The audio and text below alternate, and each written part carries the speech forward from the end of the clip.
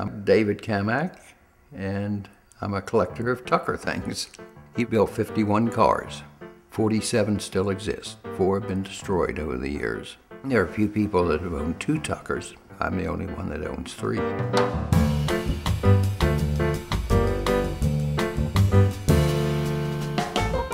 Bought my first Tucker in 1972, and that was the gray one.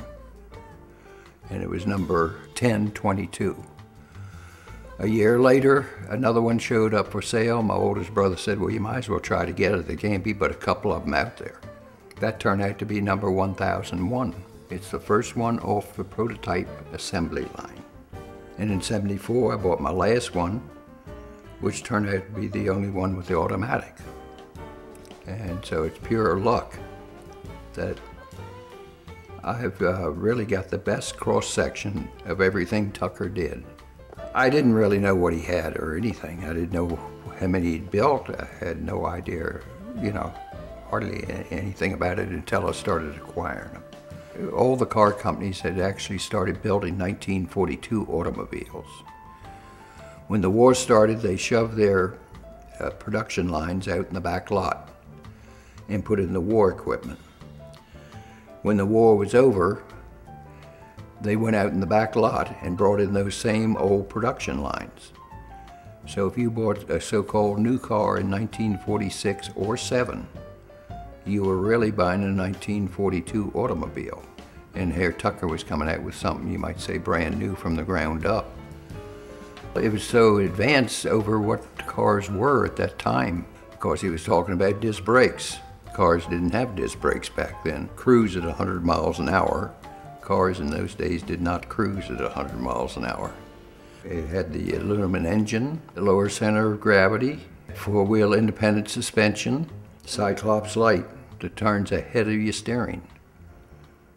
There was so much interest in the Tucker, just hard to believe. There was a lot of black market going on with car dealers after World War II. I had to put up $100 to get on a new car list.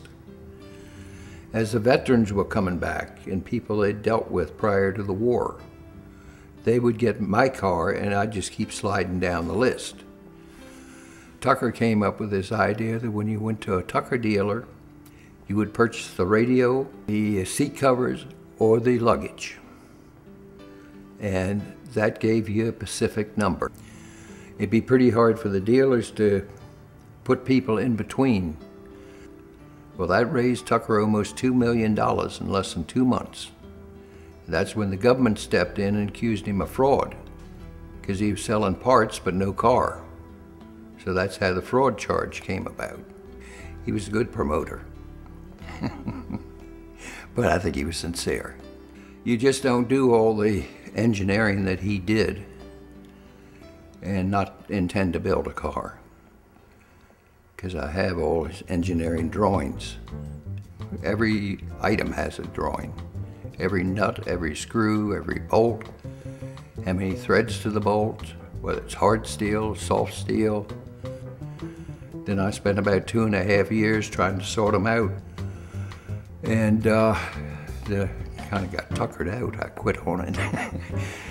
I enjoy showing the things. And I enjoy seeing people enjoy it. Well, I just don't advertise it very well. I have no signs. It's a building that's in the center of the block. You can only get to it through alleys. I call it a warehouse. Uh, most people seem to call it a museum. I don't even know the address of this building. I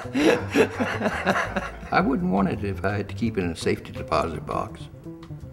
You know, who wants something like that? You can enjoy it, nobody else can. That's not my nature.